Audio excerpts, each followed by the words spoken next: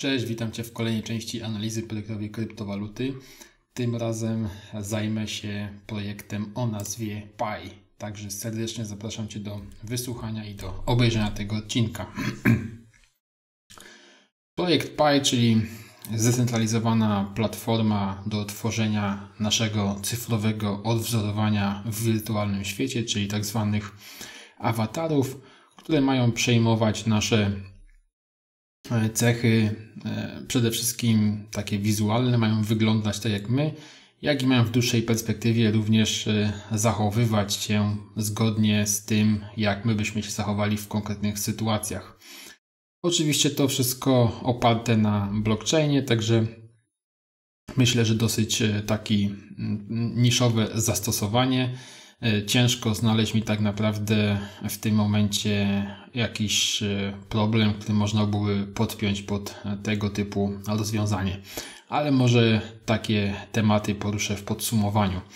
Co do natomiast samego projektu, to przejdźmy do portalu CoinPaprika, tej zakładka Code Progress.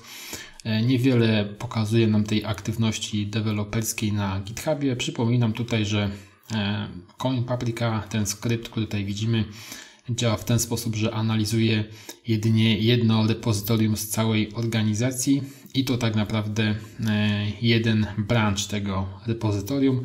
Także nie we wszystkich przypadkach musi to tak naprawdę oddawać e, rzeczywistość. Niemniej jednak aktywność na głównym branchu, na głównej gałęzi kodu sprzed prawie roku mimo wszystko nie sygnalizuje jakichś tam większych prac, większego zaangażowania w tym projekcie. Także tutaj e, sugeruję e, z rozwagą patrzeć na to, co na tym wykresie jest tak naprawdę e, pokazywane. Jeśli chodzi o GitHuba, to przechodząc na główną stronę organizacji tego projektu, widzimy kilka repozytoriów, z czego część z nich jest forkowana.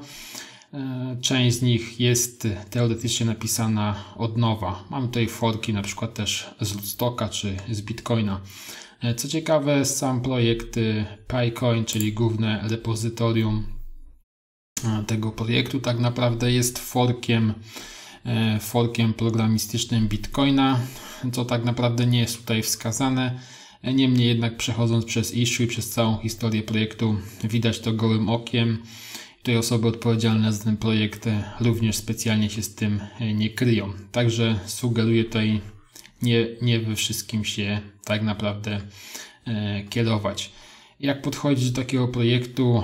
No przede wszystkim może zacznijmy od e, branchy, czyli od gałęzi kodu. W tym momencie widzimy tak naprawdę kilka aktywnych branchy. Nie zwracamy uwagi na brancze typu stale, czyli na brancze, na których nie było żadnej aktywności już od e, przynajmniej 3 miesięcy. I tak naprawdę nie sugerowałbym się również branczami, które mają w nazwie Dependent Bot, ponieważ są to automatycznie tworzone brancze w celu aktualizacji bibliotek, od których zależy główny projekt. Tutaj widzimy parę tych branczy otwartych, na niektórych z nich widać nawet aktywność w przeciągu ostatnich paru czy też parunastu dni. To by mogło sugerować, że tak naprawdę e, w projekcie coś się dzieje i idzie mm, w obranym kierunku. Warto również zajrzeć do kodu źródłowego, przede wszystkim jeśli mamy katalog e, SLC, SRC, czyli tak zwany Source Catalog. Tutaj można przejrzeć, ewentualnie porównać to, to co się e, działo w Bitcoinie. Biorąc pierwszy tam lepszy przy pierwszy lepszy e, plik do analizy, mamy tutaj możliwość wybrania historii, czyli tego co działo się e, z tym plikiem od początku jego wrzucenia do systemu kontroli wersji, jakim jest Git. I tak naprawdę tutaj widzimy, że historia tego pliku od 2014 roku e, nad tym plikiem od, odpowiadał, nad tym plikiem pracował E, człowiek, który jest znany e, z tworzenia protokołu e, Bitcoina, natomiast dopiero od połowy 2018 roku ten projekt przeszedł tutaj zgodnie z konwencją tego projektu Pi pod właśnie implementację jego konkretnych zastosowań. Tutaj mamy taką ciekawą opcję, że możemy porównać tak naprawdę to, co było wcześniej, z tym, co zostało zmienione. Także widzimy, że tutaj akurat w tym pliku zmiany były bardzo kosmetyczne, czyli zmiana nazwy i tego typu drobnych elementów. Oczywiście nie chcę tutaj sugerować, że e, każdy plik w tym projekcie został tak e, pobieżnie zmieniony. Sygnalizuje tylko w jaki sposób można e, tego typu działalność sprawdzić. Przechodząc dalej mamy issues. Na ten moment nie ma żadnych otwartych, mamy natomiast 10 zamkniętych. Warto również przejrzeć te zamknięte issues z tego względu, że czasami można się tu dowiedzieć ciekawych rzeczy. Jest tu kilka tego typu obiektów, obiektów typu issue, które właśnie poruszają tematy zbyt, dużej zbyt, zbyt dużego podobieństwa kodu źródłowego tego projektu do e, kodu właśnie Bitcoina i myślę, że coś tym jest, jest tym jakaś, e, jakaś racja.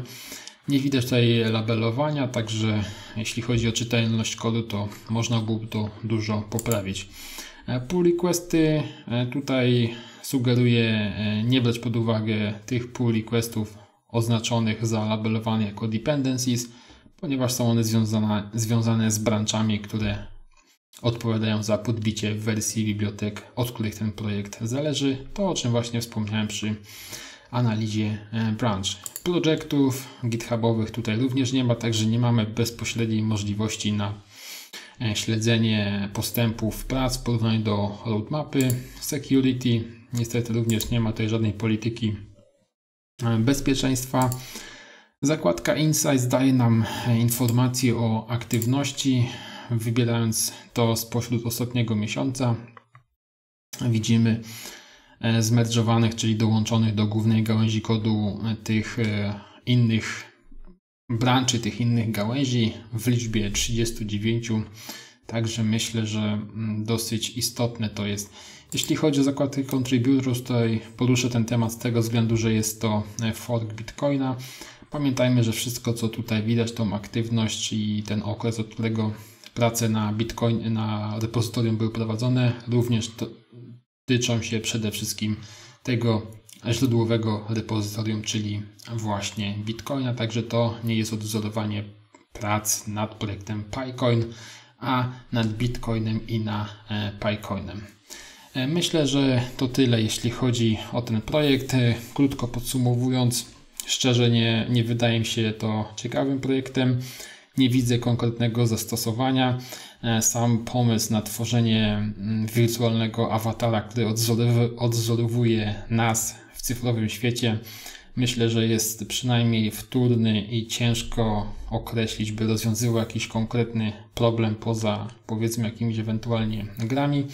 Myślę, że bardziej tutaj pomysłodawcy powinni by pójść w stronę na przykład e, potwierdzania i zarządzania cyfrową e, tożsamością, e, czy też na przykład implementować SSI, czyli Safe Sovereign Identity które według mnie jest y, technologią przyszłości, na którą warto tutaj się skupić. Natomiast same tworzenie awatarów 3D, bazując na technologiach fotogrammetrii, tak naprawdę mm, w niczym tego projekt nie wyróżnia i mija z celem zastosowanie tutaj technologii blockchain.